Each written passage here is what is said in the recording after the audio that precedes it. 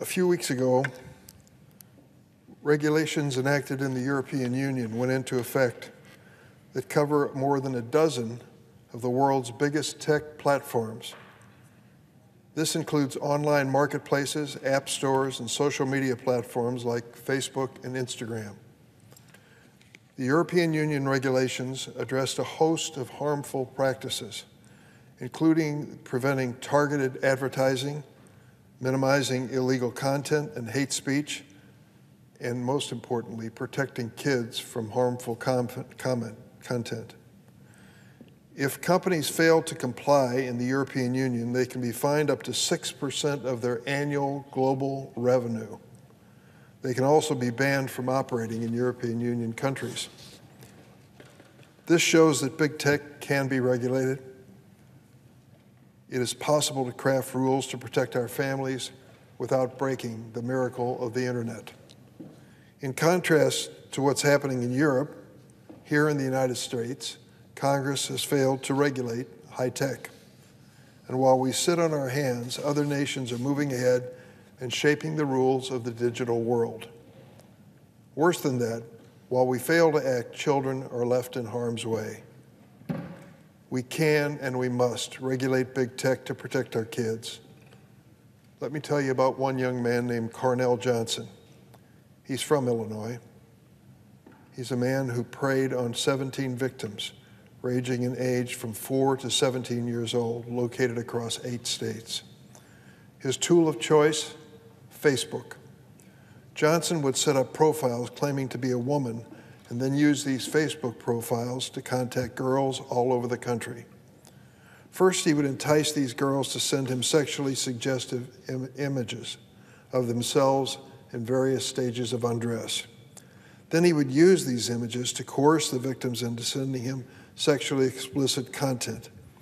He would threaten to post the nude pictures online unless the young victim submitted to his demands for still more explicit images.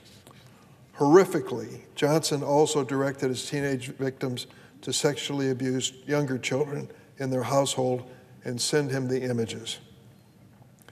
He was prosecuted and sentenced to 45 years in federal prison. Johnson was held accountable for his conduct. But what about Facebook? Johnson could not have committed his crimes without the social media platform. He could not have sexually exploited those 17 children in eight different states.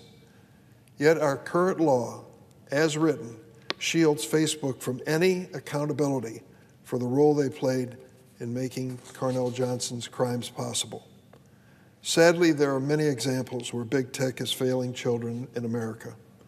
Earlier this year, the Wall Street Journal exposed how Instagram's algorithms are connecting pedophiles and guiding them to locations where they can purchase child sexual abuse material. The platform permitted speed searches with terms associated with child abuse so vile that I won't repeat them in this chamber. Senator Lindsey Graham and I wrote to Meta, Instagram's parent company, in June asking for answers to explain these algorithms.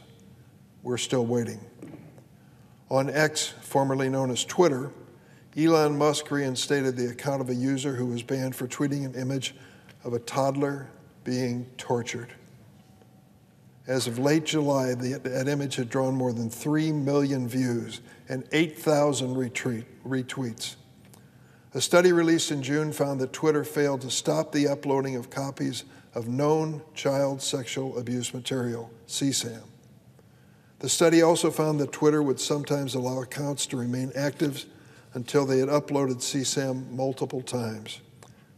Elon Musk's claim of zero tolerance for child exploitation on his platform doesn't reflect the disturb disturbing reality. Another company failing our children is Apple.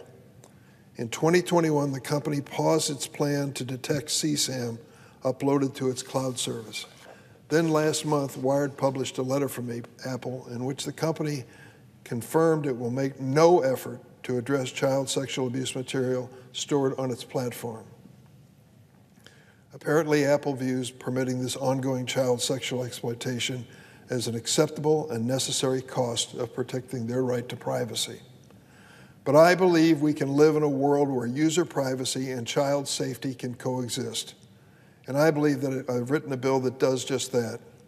My Stop CSAM Act will end big tech's free ride and give victims a way to hold these companies accountable for their failure to stop online child sex, sexual exploitation, in some cases for their actions that make it worse. Importantly, the bill achieves this goal in a manner that will avoid any unintended impact on technology that protects privacy. The Stop CSAM Act is a product of extensive consultations with stakeholders. It passed out of the Judiciary Committee, which I chair, unanimously. Every Democrat, every Republican supporting it. And I'm working to bring it to the floor. The Senate must act. Our failure to do so will preserve the status quo where our children are being sexually exploited online every single day. What a nightmare.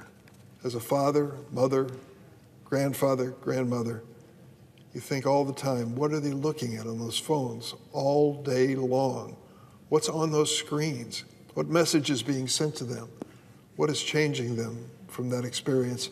And what can I possibly do as a parent or grandparent to police what's going on there? We need to have the law on our side.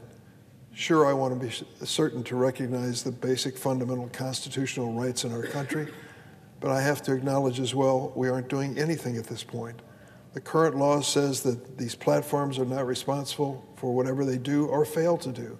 It's a get out of jail free card completely, and it's been that way for decades. We've got to wake up to the reality of the years we live in and the reality of life and families across America. Even the most conscientious parents cannot know what is going on every hour of every day with children in these screens. Sexploitation, which I outlined here in detail, is happening. And what are we doing about it? If we're going to help Americans raise good kids, and we want them all to raise good kids, we've got to give them the tools and we've got to back them up with laws that say this, that we're going to take it seriously. The European Union has done it, so why not the United States of America?